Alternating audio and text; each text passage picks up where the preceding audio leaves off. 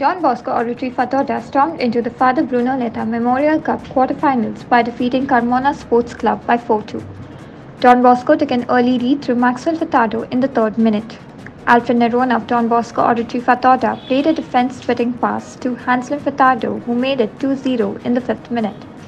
In the second half, Carmona's Bleston Rodrigues took a shot which caught the deflection of Don Bosco Oratory Fatorda's defender Charlton Pereira, giving Carmona FC hopes of coming back from a goal deficit, making it 1 2 in the 48th minute. In the 59th minute, Don Bosco Fatorda scored their third goal through Rob Borges.